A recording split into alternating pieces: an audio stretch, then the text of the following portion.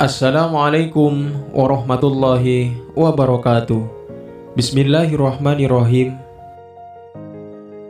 Pertama-tama marilah kita panjatkan puji syukur kehadirat Allah subhanahu wa ta'ala Yang telah memberikan kita nikmat yang sebegitu luar biasa Yakni nikmat iman dan Islam Dan tidak lupa solawat beserta salam semoga terlimpah curahkan kepada Nabi besar kita Nabi Muhammad sallallahu alaihi wasallam kepada keluarganya, para sahabatnya, pengikutnya, dan kepada kita sekalian.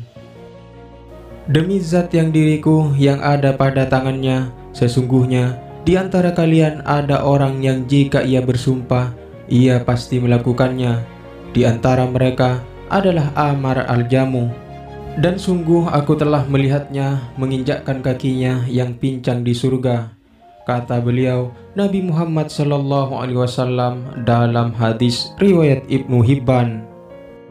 Nabi Muhammad Sallallahu Alaihi Wasallam adalah suri teladan bagi umat Muslim dalam hal memperlakukan orang berkebutuhan khusus disabilitas.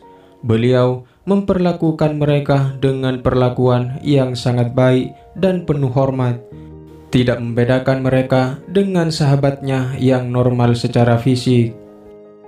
Hal ini terlihat dari sikap Nabi Muhammad SAW kepada Amr bin Al-Jamu, sebagaimana tertera dalam buku Rasulullah Teladan untuk Semesta Alam. Amr adalah seorang sahabat yang pincang. Ia memiliki empat orang anak laki-laki yang mengikuti beberapa peperangan bersama Nabi Muhammad Sallallahu Alaihi Wasallam. Pada suatu ketika menjelang perang Uhud, Amar bin Al-Jamu mengaturkan keinginannya untuk ikut bergabung dengan pasukan umat muslim melawan kaum musyrik Mekah. Namun, keempat anaknya menghalanginya mengingat kondisi bapaknya yang sedemikian. Tidak terima dengan itu, Amar bin Al-Jamu mendatangi Nabi Muhammad sallallahu alaihi wasallam. Ia mengadu kepada Nabi bahwa alasan dirinya ingin berperang adalah agar kakinya yang pincang bisa menginjak surga. Sesungguhnya anak-anakku ingin menahanku untuk keluar bersamamu pada perang Uhud ini. Padahal demi Allah, aku benar-benar ingin kakiku yang pincang ini dapat menginjak surga, kata Amr bin Al-Jamu kepada Nabi Muhammad sallallahu alaihi wasallam.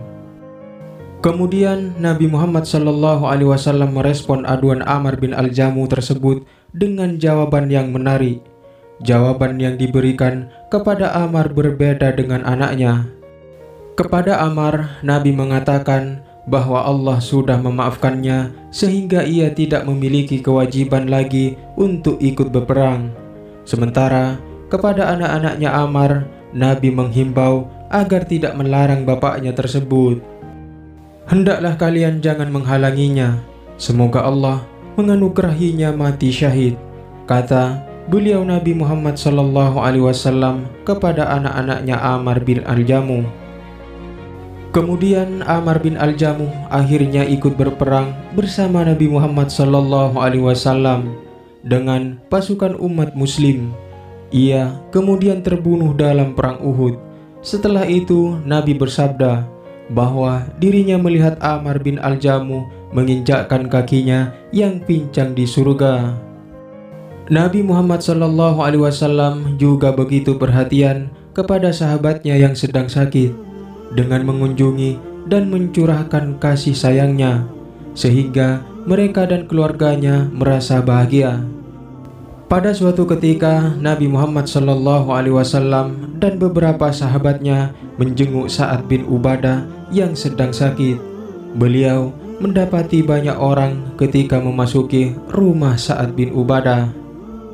Nabi bertanya, apakah Sa'ad bin Ubadah sudah meninggal?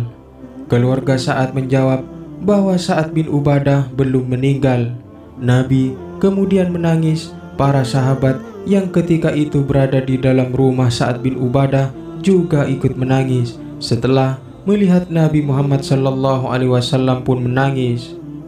Jika ada sahabatnya yang sakit, Nabi Muhammad Wasallam selalu mendoakan dan memberikan kabar gembira kepada mereka. Kata beliau Nabi, mereka yang sakit akan memperoleh pahala sebagai hasil dari penyakit yang dideritanya.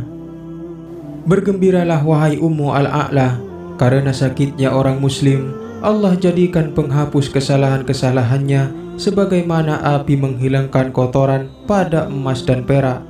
Kata beliau Nabi Muhammad sallallahu alaihi wasallam menjenguk Ummu Al-A'la yang sedang sakit. Demikianlah kisah Nabi Muhammad wasallam dan sahabat disabilitas Amar bin Al-Jamu.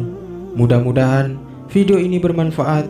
Wallahu a'lam bishawab. Assalamualaikum warahmatullahi wabarakatuh.